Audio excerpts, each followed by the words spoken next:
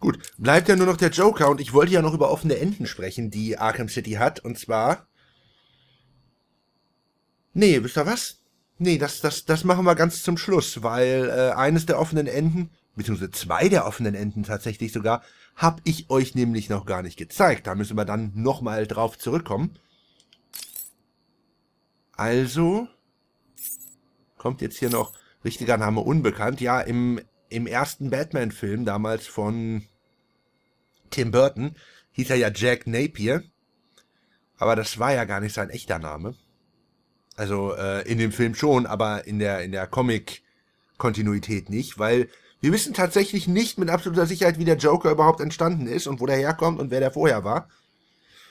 Es gibt ja diese, diese berühmte Geschichte mit Red Hood.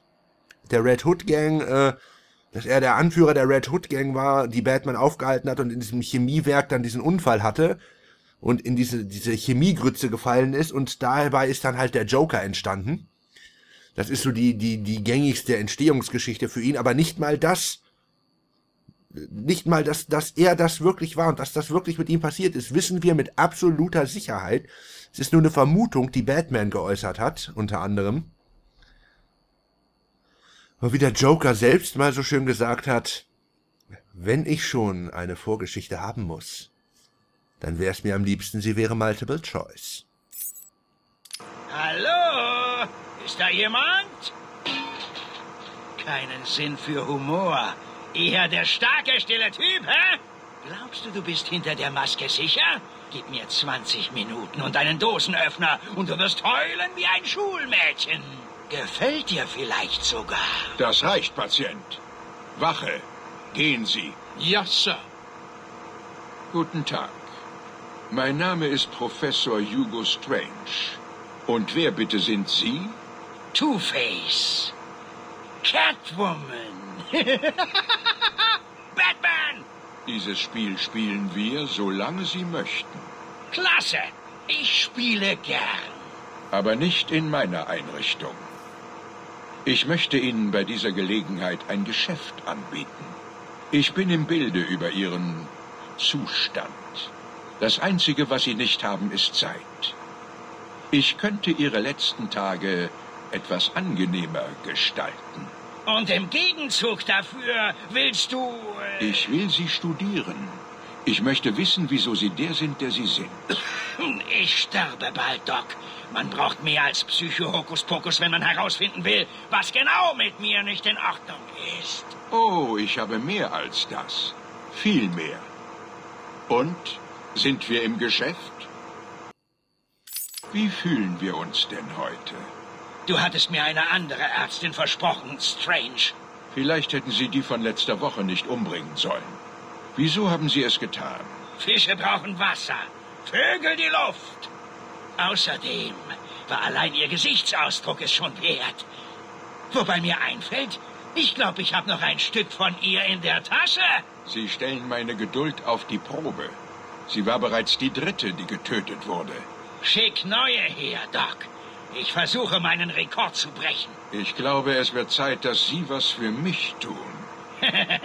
Raus damit, Doc. Erzählen Sie mir, was passiert ist. Erklären Sie mir, wie Sie zu dem wurden, was Sie heute sind. Wieso Sie vor mir sitzen und so schwer krank sind. Mehr nicht? Man könnte sagen, dass ich einen echt miesen Tag hatte. Wirklich? Ich höre. Es war Donnerstagabend. Die Dinge liefen sehr schlecht. Noch drei Tage, dann wollte die Bank mein Haus pfänden. Die Chemiefabrik, in der ich gearbeitet habe, plante die Hälfte ihrer Mitarbeiter zu feuern. Ich saß im Krankenhaus, hielt die Hand meiner schwangeren Frau und betete zu Gott, dass sie nicht tot sei. Das alles war sicher sehr verstörend für Sie. Ja, vermutlich. Aber zu dem Zeitpunkt wusste ich nur, dass ich die Männer vom alten Falcone in die Fabrik lassen musste. Sonst hätten sie mich auch getötet. Es war also so. Ich musste mich entscheiden. Konnte ich ohne sie leben? Hatte dann alles noch einen Sinn? Ich muss zugeben, ich hatte Angst. Natürlich nicht davor, tot zu sein. Jeder hätte Verständnis für diese Angst. Das ist vollkommen normal. Sehe ich normal aus? Nein, Ich hatte Angst vor dem, was vorm Tod passiert. Wenn man nicht weiß, was als nächstes geschieht. Wenn man sich verzweifelt und mit glitschigen, blutverschmierten Händen an sein Leben klammert. Also traf ich dort eine Entscheidung. Und die lautete wie? Nun, nun, Strange. Die Geschichte erzähle ich an einem anderen Tag. Ich glaube, ich brauche einen Arzt. Schick mir einen. Erzählen Sie mir vom Abend, als Ihre Frau starb. Nein, Hugo. Soweit ich weiß, wolltest du mir doch einen anderen Arzt schicken.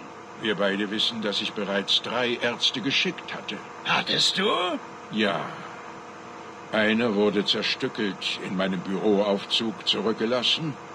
Die anderen beiden wurden, seitdem sie bei Ihnen waren, nicht mehr gesehen. Wie furchtbar. Hör zu, Doc. Professor, Okay, Professor. Ich werde dir was erzählen. Ich hoffe, du schreibst mit. Es ist der Tag danach. Ich stehe im kalten Regen, starre auf die Chemiefabrik und fühle mich abgestumpft. Jeannie war tot. Es ist alles irgendwie unfassbar. Ich konnte mich noch an unser erstes Treffen erinnern. Ihr ansteckendes Lachen, als ich ihr einen schlechten Witz nach dem anderen erzählte. Obwohl sie mich armseligen Tropf bereits länger kannte, wollte sie Kinder von mir. Und dann kamen sie. Das Leben versetzte mir einen weiteren Tritt. Falcones Mann sagte, dass ich es nicht so schwer nehmen soll. Er sagte, es könnte schlimmer sein. Ich fragte, wie denn? Er packte mich am Kragen. Er hatte Knoblauch gegessen und stank, während er sprach.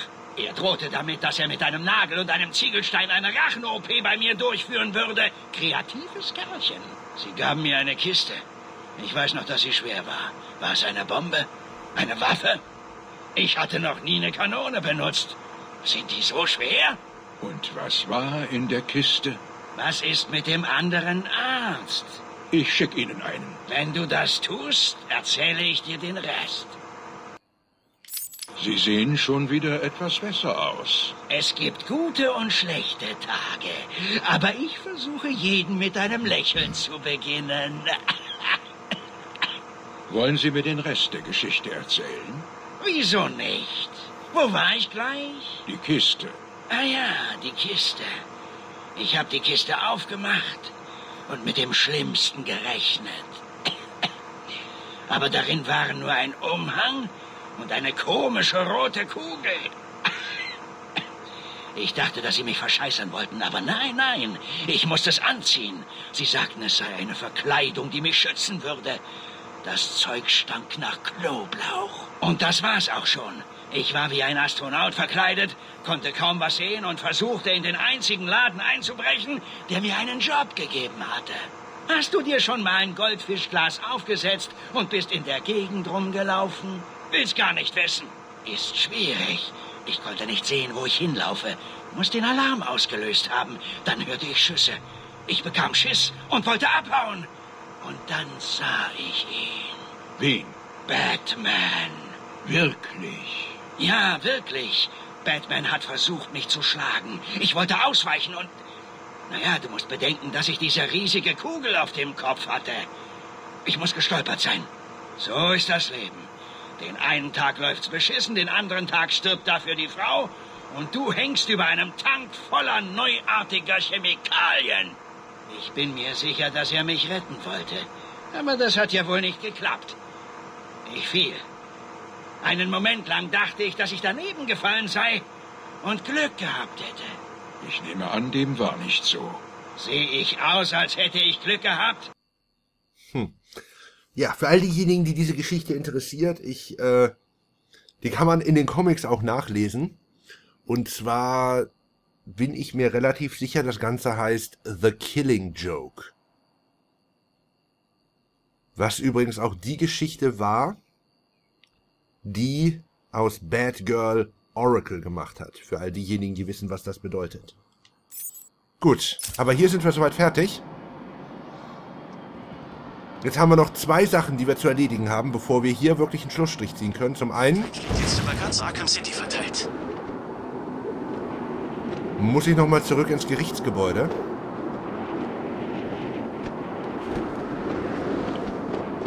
Denn dort erwartet uns noch eine Botschaft. Ach, wir können uns doch noch mal ein bisschen prügeln, weil wir gerade hier sind. Willkommen in Arkham City. Eine Freakshow mit den Ausmaßen einer Stadt. Es ist Batman!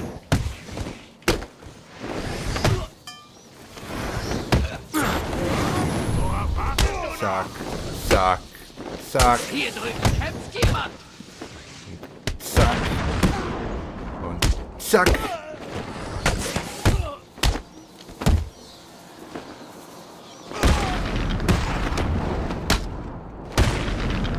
Hier rüber, Batman!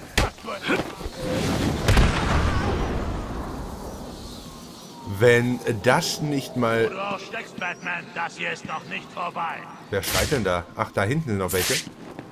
Ah, das war doch mal dominant. Ja, alle Spinner ein und den Schlüssel weg. Zack und kabams.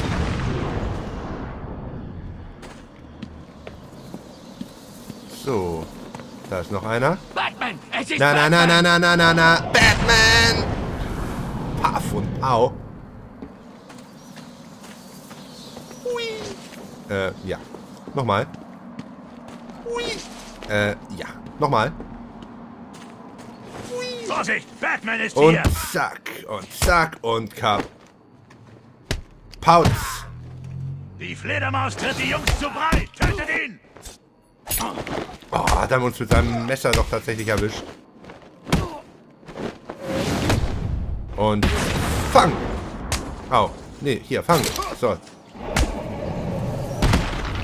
Den wollte ich machen. Okay, aber eigentlich wollten wir ins Gerichtsgebäude. Wie gesagt, da wartet doch eine Nachricht auf uns. Und dann ist in diesem Spiel noch eine weitere Nachricht versteckt. So. Wollen wir noch mal gucken, was unser guter Freund, äh, wie heißt er? Mr. Day, also unser Calendarman hier unten treibt. Huch.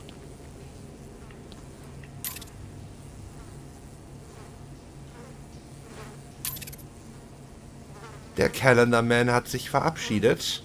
Er hat uns seine Geschichten erzählt. Und das neue Jahr steht vor der Tür. Also zumindest hier in im Arkham-Universum. Wer weiß, wann wir ihn wiedersehen. Verdammt nochmal, diese Husterei geht mir auf den Sack. Oh, falsche Taste. Okay, eine letzte Sache ist noch zu erledigen. Und zwar müssen wir zu diesem Schiff hier. Denn dort... Oh, ist ja furchtbar. Entschuldigung. So, und zwar erwartet uns dort ein letztes Geheimnis. Oh, das ist, das ist nicht wahr, ey. Moment, das mal. Oh, warum muss ich denn jetzt... Boah, ey, Verzeihung. Die ganze Zeit ging's gut, ne, während wir uns da die die ganzen Audiobände angehört haben und jetzt kaum muss ich tatsächlich auch widersprechen, da kommt ja ein Hustenanfall nach dem anderen, das ist doch zum Kotzen, ey. So, und zwar erwartet uns hier ein letztes Geheimnis. Ein Geheimnis, das in direkter Verbindung steht zu Arkham Knight. Deswegen machen wir das auch als allerletztes jetzt hier.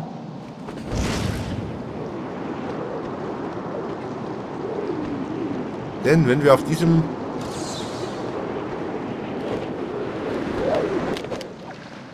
Boot landen, können wir den kryptografischen Sequenzer öffnen. Ich muss nur ganz kurz gucken. Genau. Und wir können hier eine, äh, eine Tür mit einer äh, Verschlüsselung öffnen.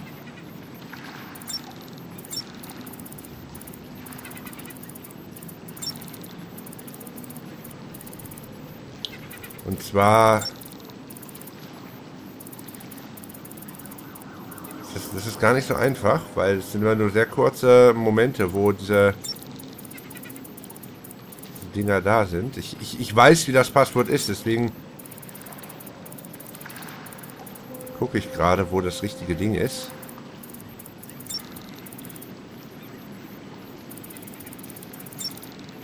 Das, heißt, das Problem ist, also ich weiß, was es im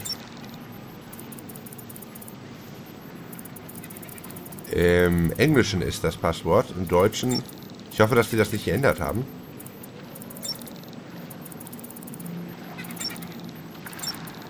Magnet. Gut, wir suchen erstmal auf der anderen Seite. Denn?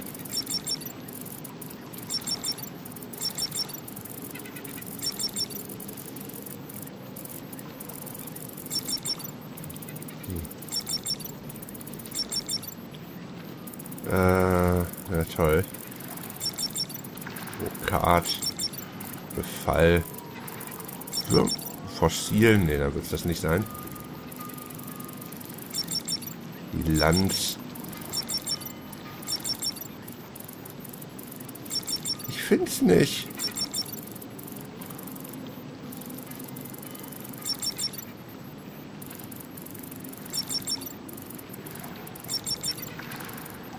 Das sind immer wieder die gleichen Wörter, wenigstens das. Alter, wo ist das?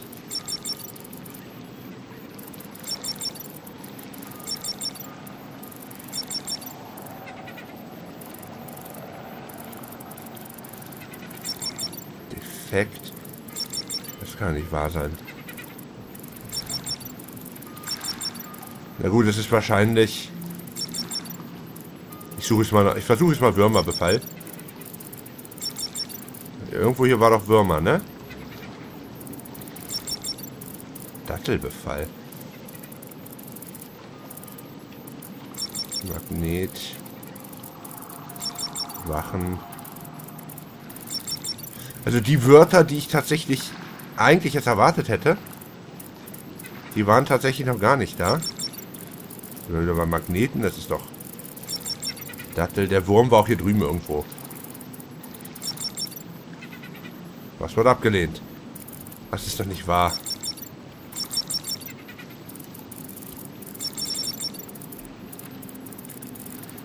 Ah, die Steuerung ist aber auch...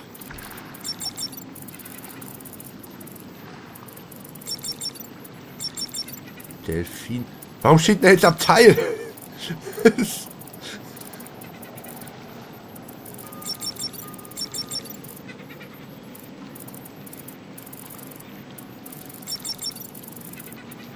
Alter.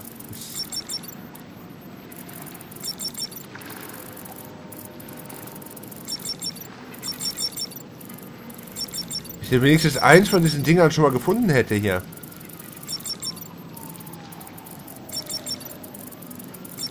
Kann ja schon mal sagen, im Englischen ist das Passwort für das Teil City of Fear.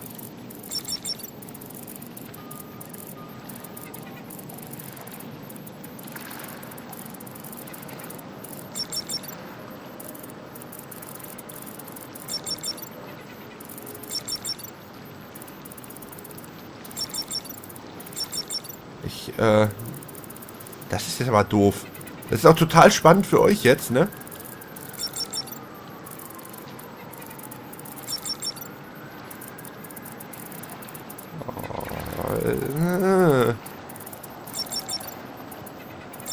Ich habe gedacht, wir machen das jetzt schnell und dann ist gut.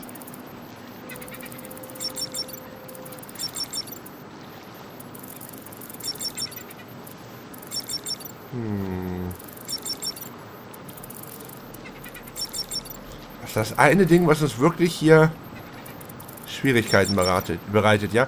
Und es kommen ja immer noch wieder neue Wörter dazu. Den Einstellungen hier.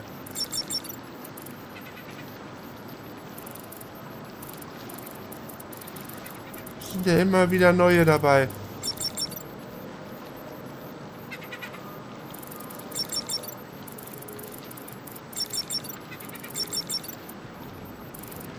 so viele verschiedene Einstellungen und nichts, nichts passt.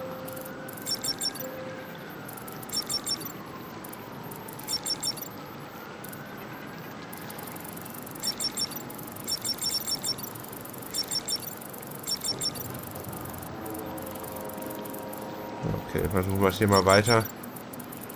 Tausche Schlüssel. Angler wird es auch nicht sein. Ähm, gut, ich würde sagen, ich mache an dieser Stelle jetzt einen Schnitt. Und wenn ich die, die dämliche Klappe aufgekriegt habe, seid ihr die Ersten, die es erfahren.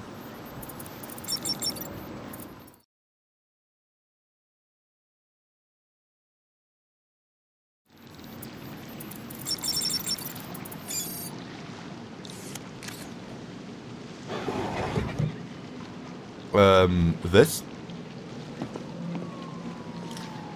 Also Leute, das, das äh, Passwort, das wir gesucht haben, ist in der deutschen Version anscheinend Batchman Bilanz. Was total dämlich ist und überhaupt keinen Sinn macht. Ist übrigens äh, im Original City of Terror, nicht City of Fear. Und dann können wir hier runter.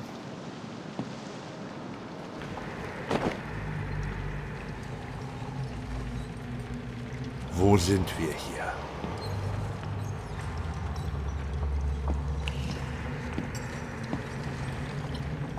Kakerlaken. Jede Menge Kakerlaken.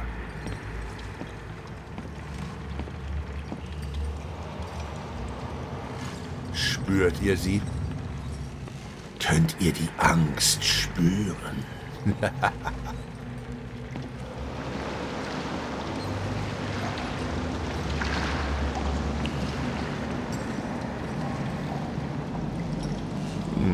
Eine Lieferung für einen Dr. J. Crane. Biological Containment Vessel. Shipping Costs. Lebende Insekten für medizinische Forschungen. 15 Lieferungen. Na, mein Freund?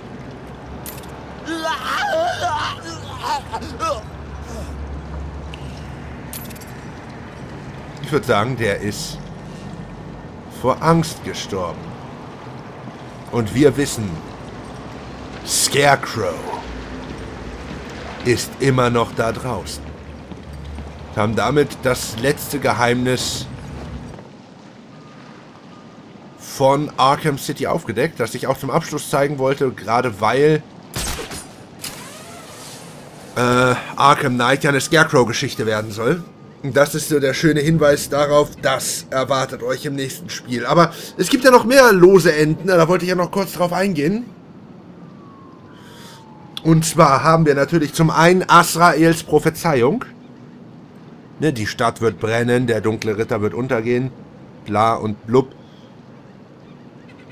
Und es ist inzwischen bestätigt, Asrael ist in Arkham Knight. Also denke ich, werden wir da eine Fortführung der Geschichte haben. Ein weiterer Charakter, ähm, der immer noch, ja, ich will mal sagen, frei ist und um den wir uns noch kümmern müssen und von dem ich hoffe, dass das ebenfalls in Arkham Knight geschieht, das ist natürlich Killer Croc, den wir ja in der Kanalisation kurz getroffen haben hier in Arkham City. Dann eine Sache, wo sie garantiert drauf eingehen werden, weil das ist äh, dieses Setup, das war einfach so absolut Fortsetzung folgt. Wir kümmern uns später darum. Äh, das war Hush. Ne, dieser, dieser Identitätsdieb, der hier äh, die, die, die Haut von den Gesichtern von den Häftlingen hier abgezogen hat, um sich ein Gesicht zusammenzubasteln, das so aussieht wie das von Bruce Wayne. Bin gespannt, was daraus noch wird. Ich hoffe, in Arkham Knight erhalten wir da ein paar Antworten. Dann haben wir natürlich Calendar Man. Calendar Man ist entkommen, er ist wieder frei, er ist da draußen unterwegs. Und äh, Calendar Man ist tatsächlich ein Charakter, der bis jetzt in allen Arkham-Spielen dabei war. Und ich sehe eigentlich keinen Grund, warum das in Arkham Knight dann nicht der Fall sein sollte. Dann haben wir natürlich Scarecrow. Bei Scarecrow wissen wir ja, dass es weitergeht. Das ist ja schon bestätigt worden.